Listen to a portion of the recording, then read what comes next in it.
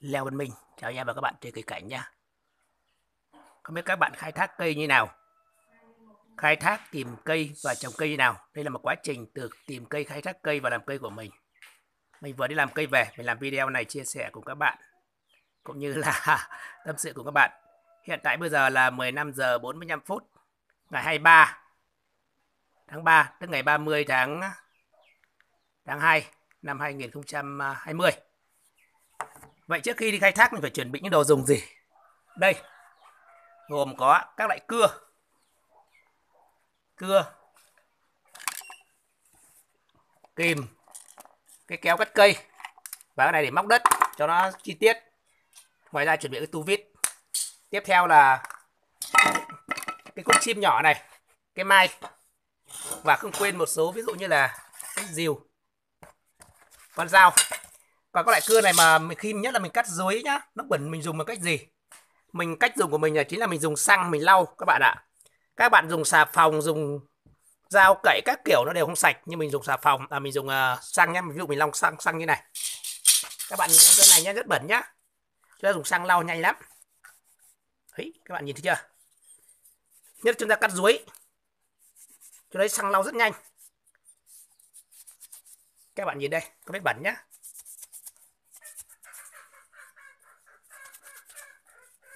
Vậy mỗi buổi đi làm về mình vệ sinh nó một lượt. Thì cưa thì mình dùng cái cưa tốt, mình gỡ ra để mình à, lắp cho ba lô.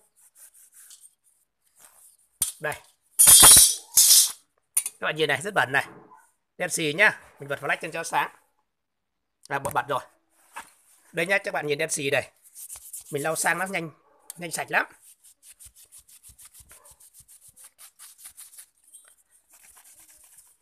Đỡ hẳn đỡ hẳn các bạn ạ.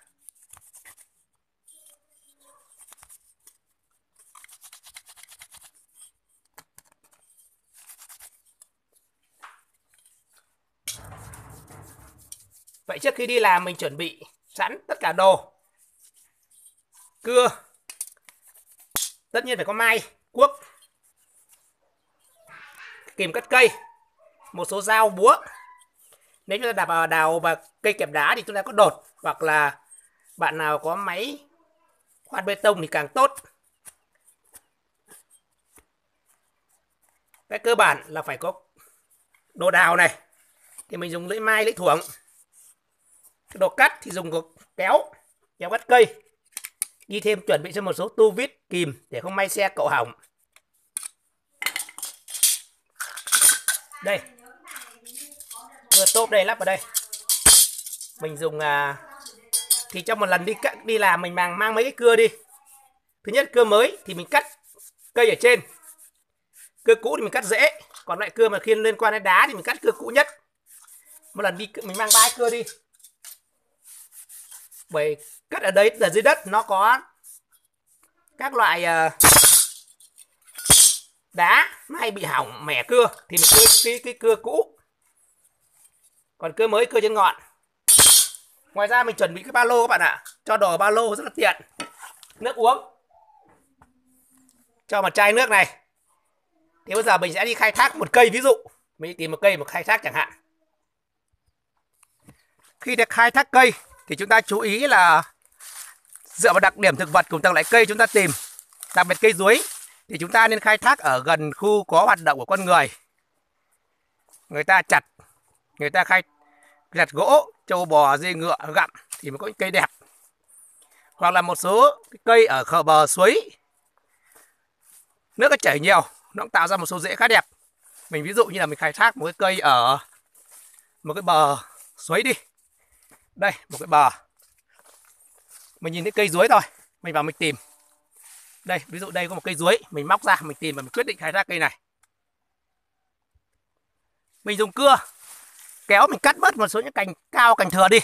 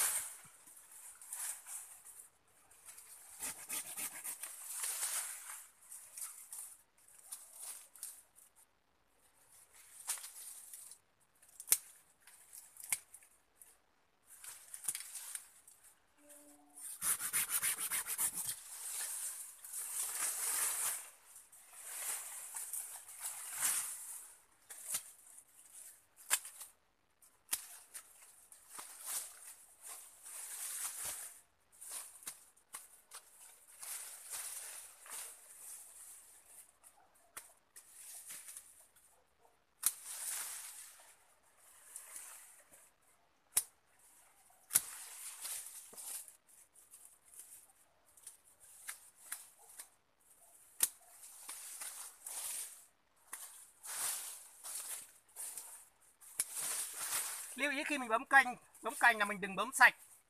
Mình bấm dư lại một chút. Bởi vì ở dưới đất mình không nhìn ra được. Sau khi bấm dư xong, thì bắt đầu mình đào. Mình dọn sạch qua, bốn xung quanh. Tùy vào điều kiện của mình. Nếu chỗ đấy mà đất người ta, là đất của người ta. Nếu như là đất vườn, đất ruộng, thì chúng ta phải hỏi xin phép người ta mua. Đất trên rừng đồi cao thì ờ, nó không ảnh hưởng gì lắm. Thì chúng ta đào. Còn cây nhỏ đào được như cây to, chúng ta phải hỏi, phải gia đình chủ vùng đất đấy.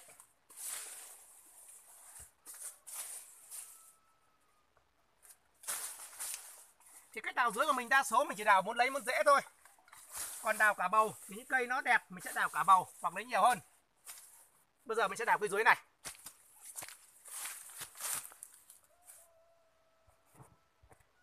Mình đã đánh xong cái bầu đất mang diện tích tương đối thôi.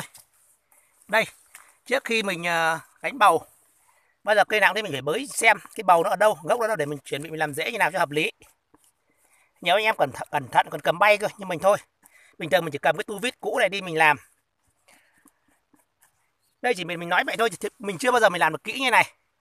Còn đây để đánh bầu đất, nếu chúng ta cẩn thận hơn, chúng ta đừng dùng cuốc thuồng, chúng ta cuốc hay dùng búa, chúng ta băm gãy dễ mà chúng ta dùng ờ, kéo hoặc là cưa để cho bầu đất đông long sau khi chúng ta đánh ở bằng ngang thì chúng ta dùng dây buộc bao buộc lại.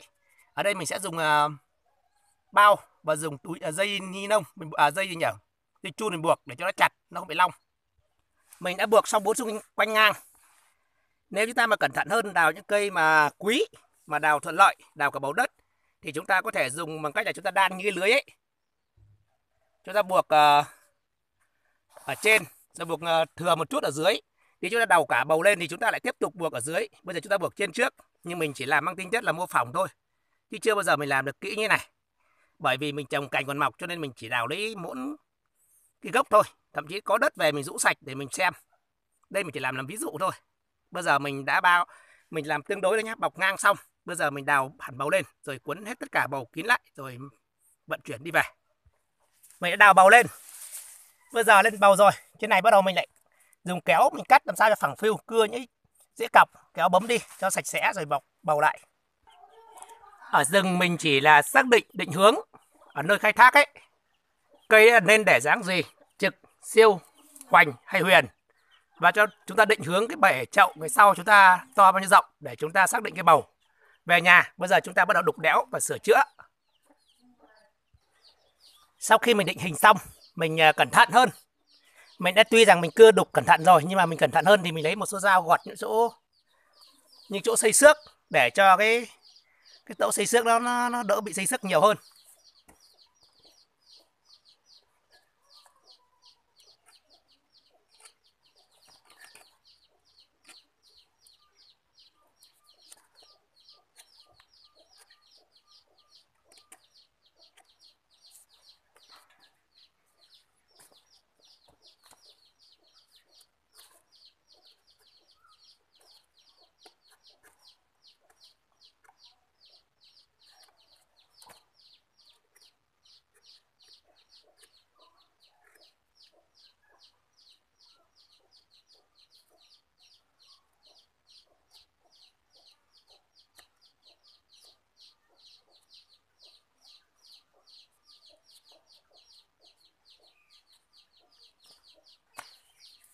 Sau khi chúng ta gọt xong những chỗ xây xước, đợi cái vết xây xước, cái chỗ gọt của chúng ta nó khô xe thì chúng ta lại bôi keo liền sẹo. Mình ví dụ như cây này.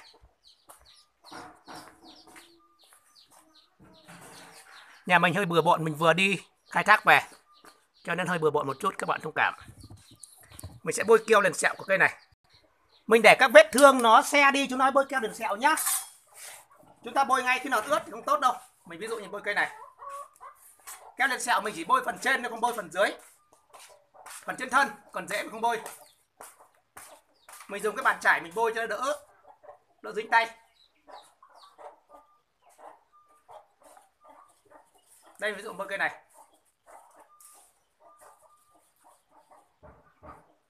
Nếu chúng ta cẩn thận hơn, chúng ta bôi nhiều lần. Mỗi lần chúng ta bôi xong nó khô. Đợi khô, chúng ta bôi lại lần nữa, bôi càng nhiều càng tốt để nó khô xong chúng ta bôi tiếp các bạn nhé đây là mình cẩn thận hơn.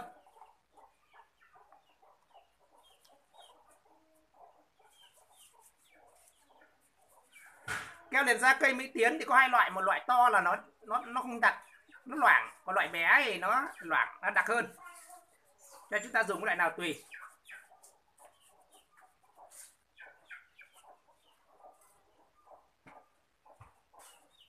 Mình ví dụ như vậy mình chỉ bôi phần trên thôi, các bạn nhìn thấy cây dưới của mình.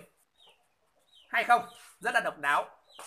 Răm dày di dày dít cây này bao giờ mình trồng dưới gốc cho nó mọc đã. Sau đi mọc xong, mình sẽ chết lên một đoạn này thôi. Mình chỉ trồng một đoạn này. Độc trụ kình thiên, rất là quái. Dày di dày dít không có một thành thế gì cả, thẳng tưng. Làm một đường thẳng các bạn nhìn đi. Để mới ra mình nhìn điện thoại, các bạn nhìn thấy không? À mình cho cao lên một tí đấy. Sau này sẽ là một cây cảnh như này. Cây dưới các bạn ạ. Đấy, sau này sẽ là một cây như thế. Các bạn có thấy cây dưới nào trong các triển lãm cây dưới nào này chưa? Răm dày di dít đây, mình cho cận cảnh đây. Dày chưa? Dày di dít và sau khi chúng ta bôi keo điện sẹo xong, chúng ta để vài à, chúng ta để cho nó khô keo. Và mình đưa ra ngoài để chụp lại những cây này.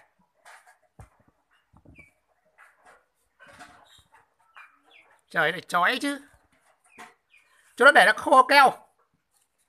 Sau khi khô keo thì chúng ta dùng các loại rẻ, chăn cũ chúng ta ủ. Đây, ví dụ như cây này. Mình đào cách đây hai hôm. Mình bảo tối về trồng nhưng mà hôm sau trồng như chưa trồng được. Đây mình ủ đây. Dùng các loại chăn rẻ cũ đây, rất là nhiều. Đây các bạn. Ủ, chăn ẩm nhá, đừng ướt, ủ mình ví dụ như cây này, mình bôi keo từ mấy hôm nọ rồi, mình ủ rồi bớt nước khô đây là đấy, khô keo. Cẩn thận hơn, mình bôi lại lần nữa. Bây giờ mình sẽ bôi cây này và mình trực tiếp mình trồng cây này. Cây này khai thác từ hôm kia. Đây mình so sánh những cây mình vừa đào với hai con gái mình nhé các bạn nhìn đẹp không? Đấy, cây rất đẹp. Răm dày di dày rít. Rồi, sau khi mình à, các con nghỉ đi. Sau khi mình bôi keo liền sẹo xong, hai con họ một tuốt lá sạch đi. Sau khi mình bôi keo liền sẹo xong này, mình cho vào chăn ẩm, mình ủ rẻ ẩm kia nhé mình ủ. Được một vài ngày sau khi cây nó xe lại bắt đầu mình trồng. Thì, thì hôm nay cây này à chưa trước khi trồng mình ngâm thuốc kích rễ.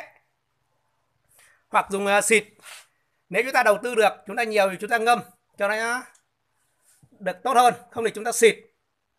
Xịt chúng ta dùng cái bình xịt đây. Bình xịt chúng ta xịt nhá. Bình xịt như mình đây là mình dùng nhiều mình tưới. Mình ngâm tưới xịt theo hướng dẫn.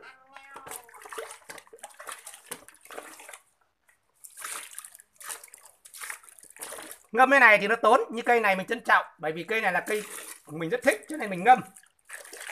Ngâm xong mình ờ, trồng xong mình lại tưới vào gốc của nó.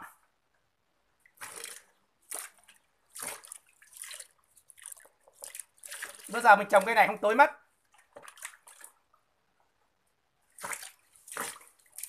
Và lưu ý là mình ngâm này, nó bẩn nhá. Khi mình cho vào xịt thì mình phải um, lấy cái gì mình lọc qua. Và cây này, mình khai thác từ hôm kia. Sau khi khai thác về, tối mình đã chia sẻ ngay, chiều tối mình chia sẻ ngay các bạn đấy hôm qua đã một ngày, mình uh, phủ chăn ẩm, mình đã bôi keo đèn sẹo. Thì hôm nay là mình mang ra trồng trồng mình bằng, sẽ bằng cát trăm phần trăm. Cái này thì không có chậu nào trồng được cả. Bây giờ mình trồng đất là trồng mặt đất thật như vậy đất mình à, đặt trên mặt đất một chút đào xuống một chút xong mình dùng cót mình à dùng uh, tôn mình be lên và mình cho cát trăm phần trăm.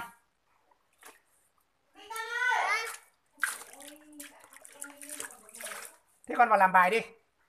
Mình dùng cắt mình dùng cắt bê tông trăm phần trăm nhé các bạn nhá. Bây giờ mình uh, mình sẽ làm cái hố. Mình dùng uh, tôn mình bọc lại.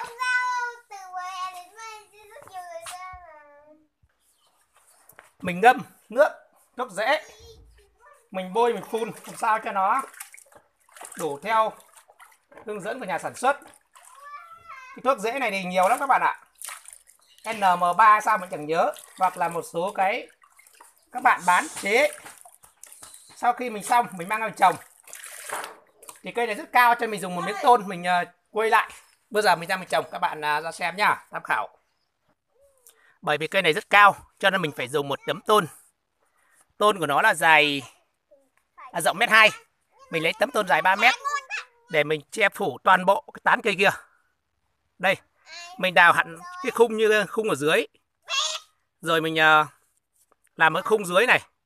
Để mình để cái tôn dưới mình chỉ buộc ở trên đỡ phải buộc trên ừ, mình xong mình uh, cho tôn vào. Để cho cây được vững vàng mình buộc một cái cột đóng cái cột buộc vào cho cây đứng theo hướng của mình ví dụ mình chọn mặt này mặt tiền, thì đây mình lấy mặt mặt tiền đây. Bây giờ mình quay tôn vào, sau khi quay tôn xong mình đổ cát. Sau khi mình dùng cái tấm tôn, mình bọc bốn xung quanh. Bởi vì mình đào đất ra khá nhiều, cho nên mình cho một ít đất ở dưới, để cho nó phẳng với cái mặt đất cũ của nó. Đây, mình chỉ lấy đất phẳng với đất cũ thôi. Nhưng mình bây giờ bắt đầu mình cho cát. Còn cái bầu đất nó ở trên thì mình phải dùng một cái ghế hoặc cái gì đó mình ờ, dựng lên sau khi mình đổ cát đến tận đầy đầy bằng cái ghế đấy thì à, cái bầu đất thì bắt đầu mình tháo bầu đất ra. Bây giờ mình sẽ đổ cát vào. Bây giờ là 6 giờ kém 10 mất rồi, chắc tối không xong thì mình đổ bằng được xong bằng trong hôm nay, rồi bọc túi bóng lại. Khi nào xong mình quay lại các bạn, chắc là lui tối thì các bạn sẽ nhìn tối nha. Hơn 7 giờ thì các bạn ạ, mình vẫn chưa trồng xong cây phôi dưới này. Đây mình trồng một cát nhé các bạn nhé. Bây giờ mình à, đổ cát phủ kín ca qua cả cái, cái thân cây. Khi nào mà mình ờ, cây này bởi vì nó răm rất nhỏ có thể nửa tháng nó mọc. Khi nào mọc tương đối đều thì mình bới cát ra dần bới cát ra dần. Phủ kín thân các bạn nhé. Đây cát bê tông cát đẹp nhé các bạn nhé. Đây cát đẹp. Đây cát đổ bê tông đây. Đấy. cát sỏi đẹp nhá đổ bê tông thì nó mới thoát nước. Bây giờ là 7 giờ hơn rồi. 7 giờ 25 phút rồi. Chắc phải 8 giờ mình làm xong. Bây giờ tiếp tục mình phủ cát đầy. Phủ cát đến đầy cái chỗ này nhá. Xong khi nào à, nó mọc thì mình lại tưới cho nó xả xuống hai bên. Bây mình tưới vừa phải thôi. Mình chưa tưới nhá. Mình lấy từ hôm kia, hôm nay là ba hôm. Rồi mình cứ phủ cát vào cho nó ẩm ướt thôi. Nếu còn có lẽ mai mình đi lấy bèo. Mình phủ bèo vào đây còn bây giờ hiện tại mình chưa có bèo thì mình lấy tạm chăn. Mình để chăn lên đây, mình xịt ướt chăn hoặc mình tưới vào chăn cho nó mát cây. Bây giờ về mình tiếp tục mình làm, khi nào làm xong thì mình lại quay các bạn cùng tham khảo. Mình đã lấp cát lên đến ngọn các bạn ạ, chỉ hở một số đầu thôi. Thì hôm kia mình khai thác, bây giờ mình trồng. Ba hôm nữa mình mới tưới. Để cho thân nó khô lại đã. Bây giờ tưới ngay, thân nó chưa được khô. Hôm nay nó dễ, đầu dễ nó chưa xe không may nó nhiễm khuẩn. Bây giờ mình sử dụng à, nếu chúng ta có bèo, cho bèo cũng được, nhưng bây giờ mình không dùng bèo, không có, chưa có bèo. Bởi nhà mình không có ao, có bèo. Bây giờ sử dụng một số chăn này. Chăn, màn cũ. Dụng chăn màn cũ che lên, đậy lên, xong bắt đầu lấy nước tưới qua để giữ cái này nó ẩm. Mình phủ chân màn, mình phủ qua cái cái cạnh của, phủ qua cái cạnh của gì nhỉ? Cái miếng tôn khu này là cái chỗ giáp danh miếng tôn mình phải che lại. Cái đầu buộc mình phải lấy hai cái miếng vải mình à, che lại.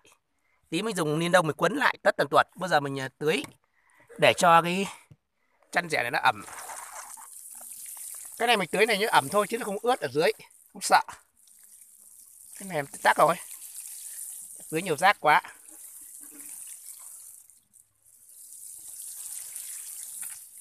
Mình cho rất nhiều chăn, chứ không lo nó không lo nó ướt đâu. Ẩm cái này. Giữ độ ẩm. Sau khi mình đã tưới qua chăn màn rẻ ẩm, bây giờ mình dùng cái túi ni lông mình bọc lại. Đây, túi ni lông mình đã mua rồi đây. Đây, túi ni lông các bạn nhé mình đã làm xong các bạn ạ. Muộn quá. Gần 8 giờ. Ngày trước nó có cái bao ấy, thì mình dùng cái bao chụp, nhưng bây giờ không có bao. Mình phải cuốn lại và trên này vì không có bao cho mình không buộc được. Nếu có bao chúng ta buộc kín lại. Ở dưới đất này mà cẩn thận hơn chúng ta lại lấp đất lại. Nếu là bao thì chúng ta gọi ngoại bất xuất nội bất nhập. Thì chẳng có sâu bọ nào vào đây cả. Cát sạch, cho nên không bị nhiễm khuẩn. Cây này sau khoảng nửa tháng mình mới ra mình xem. Còn những bạn mà trồng những cây củ gốc thì có thể mọc lâu hơn. Khi nó có cái cành tăm cành nhỏ thì nó có mầm đỉnh ngọn. Mập trời nách thì nó mọc nhanh hoặc mầm ngủ còn chúng ta cắt cả gốc đi, chúng ta chỉ lấy cái củ gốc thôi, nó gọi mầm bất định thì nó sẽ mọc lâu hơn. Thì vì không buộc được, bây giờ mình sẽ lấy một cái chăn lên mình phủ lên, kín. Có chỉ tương đối thôi. Bây giờ mình lấy một cái chăn, mình phủ nốt lên. Mình đã phủ cái chăn lên, coi như xong. Khoảng độ ờ, 5 ngày nữa, mình lại cho chăn này ra và mình mở cái cái tươi bóng ra, mình tưới thật đẫm một lần. Sau mình phủ vào khoảng 10 ngày sau, tức là 15 ngày sau mình sẽ kiểm tra. Còn bây giờ kệ nó, như này ổn rồi. Thôi chào các bạn nhé. Dạo gần đây mình cũng đăng video về trồng ruối các bạn có kinh nghiệm thì không nói rồi, nhưng một số bạn mới tập chơi cũng có chia sẻ nhiều. Nên mình làm một video này trọn vẹn, từ khi tìm khai thác, đục đẽo, tạo hình, gọt, các nốt xây xước, bôi keo đền sẹo ngâm ngâm thuốc, ngâm phân kích rễ đến quá trình xử lý trồng, gọi là từ A đến Z nếu thấy video mình có ích, các bạn đăng ký kênh, ủng hộ cho mình. Chia sẻ với nhiều anh em mới chơi. Cùng trồng được những phôi ruối làm sao cho nó sống, tỷ lệ cao nhất. Sau này mình mới có thể làm được những tác phẩm đẹp. Cảm ơn các bạn xem video của mình. Chúc các bạn buổi tối vui vẻ, hạnh phúc bên gia đình.